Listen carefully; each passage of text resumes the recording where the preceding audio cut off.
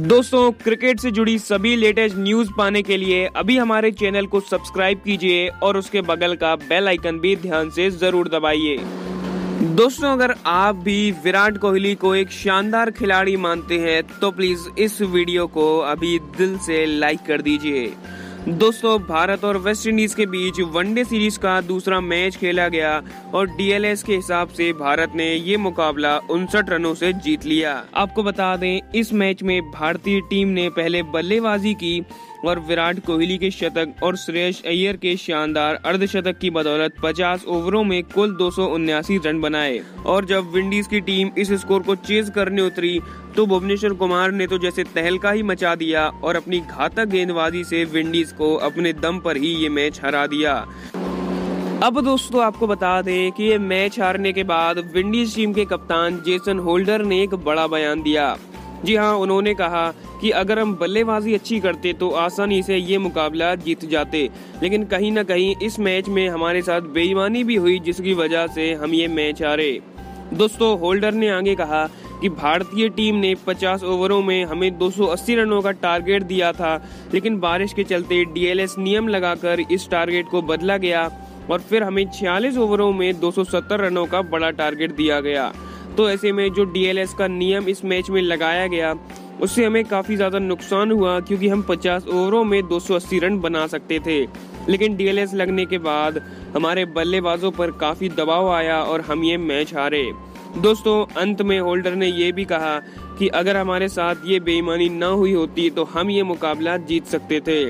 दोस्तों, वैसे आपको क्या लगता है, क्या विंडीज के साथ इस मैच में बेईमानी हुई है या नहीं? हमें नीचे कमेंट करके ज़रूर बताइए।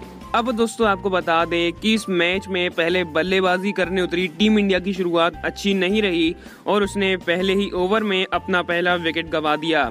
जी हाँ पहले ओवर की तीसरी ही गेंद पर शेल्डन कोट्रेल की अंदर आती गेंद धवन के पैड से टकराई। हालाँकि अंपायर ने इसे नॉट आउट दिया, लेकिन वेस्ट इंडीज ने रिव्यू लिया और उसमें धवन को आउट दिया गया। धवन ने आउट होने से पहले तीन गेंदों में कुल दो रन बनाए। अब दोस्तों, धवन के आउट होने के बाद रोहित और कोहली ने पारी को आगे बढ़ाया और दोनों ने मिलकर दूसरे विकेट के लिए चौहत्तर रनों की साझेदारी की। लेकिन फिर सोलहवें ओवर की तीसरी गेंद पर भारत को दूसरा झटका लगा, जब रोस्टन चेज की गेंद पर एक बड़ा शॉट खेलने के चक्कर में रोहित शर्मा ने पूरन को कैच दे दिया। आउट होने से पहले रोहित ने कुल 34 गेंदों में 18 रन बनाए। इसके बाद दोस्तों, ऋषभ पंत मैदान पर विराट कोहली का साथ देने आए, लेकिन वो लंबी पारी नहीं खेल पाए और 35 गेंदों में 20 रन बनाकर आउट हो गए।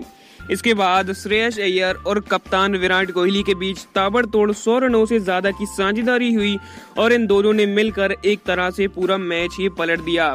इसी बीच कप्तान विराट कोहली ने एक और शतक जड़कर सभी को ये बताया कि क्यों उन्हें किंग कोहली कहा जाता है। अपने वनडे करियर का उन्होंने इस मैच में बयालीसवा शतक ठोका। आपको बता दें, विराट कोहली ने शतक मारकर कई बड़े रिकॉर्ड्स भी अपने नाम किए।